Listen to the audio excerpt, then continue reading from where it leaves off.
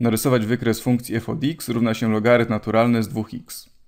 No mógłbym oczywiście wpisać wzór tej funkcji do kalkulatora graficznego albo do jakiegoś programu komputerowego i dostać błyskawicznie ten wykres, ale myślę, że bardziej pouczające będzie zrobienie tego staroświecką metodą i narysowanie tego wykresu odręcznie. Więc najpierw zrobię sobie taką tabelkę, w której obliczę, w której zapiszę wyniki obliczeń, wartości tej funkcji dla kilku różnych argumentów. Tutaj będę miał argumenty, czyli x, a tu będę miał wartości funkcji. y równa się logarytm naturalny z 2x. To jest moja funkcja, której wykres chcę narysować.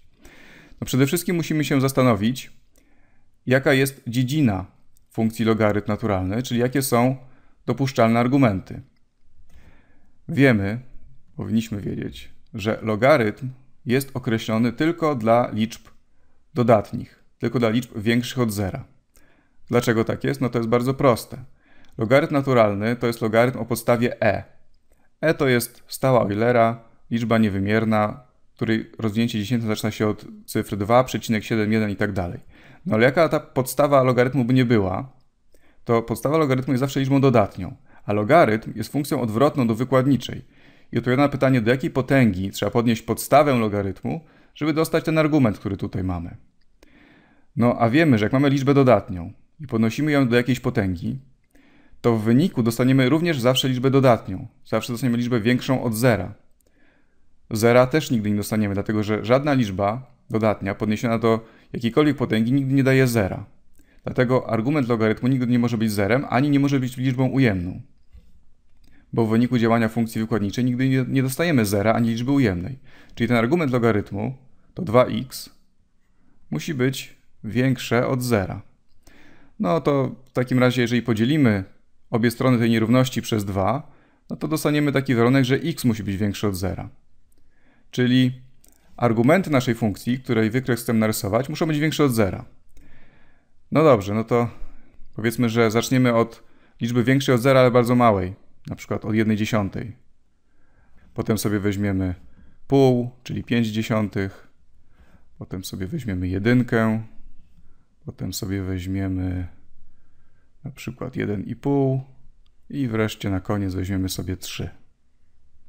No i teraz za pomocą kalkulatora ja obliczę wartości funkcji logarytm naturalny z 2x dla takich argumentów, dla takich xów.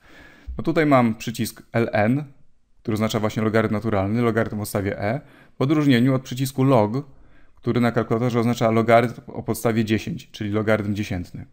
My muszę obliczyć logarytm naturalny od 2x, czyli muszę argument wziąć funkcji, czyli na przykład 1 dziesiątą, pomnożyć przez 2, no to wiadomo, bez kalkulatora że dostanę 2 dziesiąte, no a następnie obliczyć logarytm z tego, logarytm naturalny.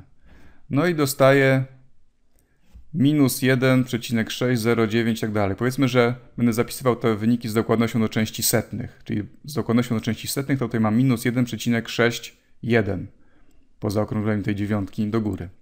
Czyli to będzie minus 1,61 dla tej wartości x. No dalej mamy 5 dziesiątych, muszę pomnożyć przez 2, 2 razy 5 dziesiątych to będzie po prostu 1. No i logarytm z jedynki, no to ja bez kalkulatora wiem, że logarytm jedynki to będzie 0. Dlaczego tak jest? No dlatego, że jeżeli mamy jakąkolwiek podstawę podnieść do jakiejś potęgi i w wyniku dostać 1, to znaczy, że ta potęga musi być równa 0. Czyli tutaj wartość tego logarytmu to będzie 0 dla 5 dziesiątych. Dalej dla jedynki, no to musimy obliczyć logarytm z 2 razy 1, czyli z 2. Logarytm naturalny z 2. O, jeszcze raz. Logarytm naturalny z 2 to będzie 0,69. Czyli to jest 0,69. Dalej mamy logarytm naturalny z 2 razy 1,5. 2 razy 1,5 to jest 3, czyli będzie 3. Logarytm naturalny z trójki to jest 1,098. Z dokładnością do części setnych to będzie 1,10. No i na koniec logarytm naturalny z 2 razy 3, czyli z 6. Logarytm naturalny z 6 to jest 1,79. 1 0,79. No to jesteśmy gotowi teraz, żeby narysować wykres. Narysuję sobie więc osie układów współrzędnych. Tutaj będzie moja oś y.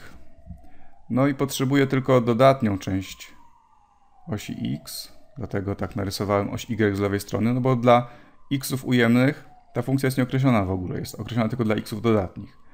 No i tutaj potrzebuję do 3 na osi x podziałkę, czyli powiedzmy tu będzie 1, tu będzie gdzieś 2, gdzieś będzie 3.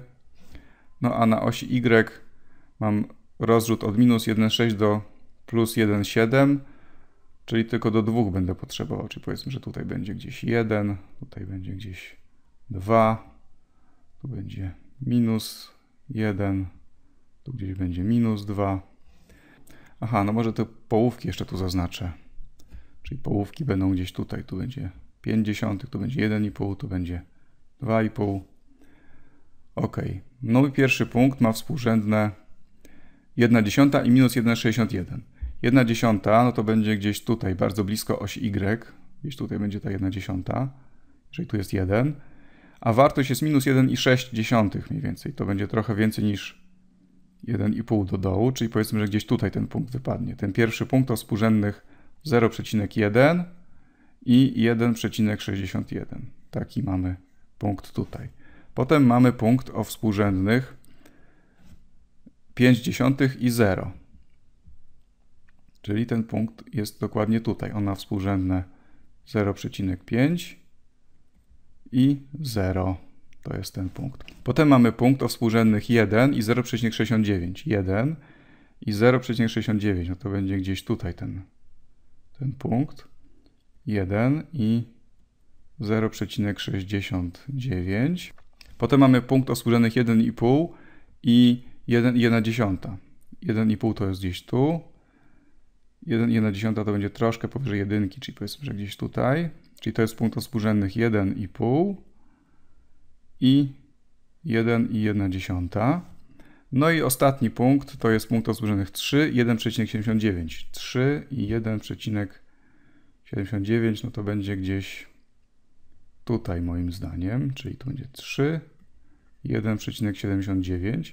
No i teraz wystarczy narysować krzywą, która będzie przez te wszystkie punkty przechodziła. No to ta krzywa będzie wyglądać jakoś tak. Tutaj ona będzie startować bardzo blisko osi Y. Tutaj będzie później się uginać. Właśnie tu się musi ugiąć, przejść przez te punkty. Następnie zagiąć się jeszcze bardziej, tak żeby przejść przez ten punkt. No i tutaj sobie będzie dalej rosnąć. No i tutaj po lewej stronie ta funkcja tutaj będzie dążyć do minus nieskończoności, czy ona tu będzie się coraz bardziej zbliżać do osi y, nigdy jej nie dotykając.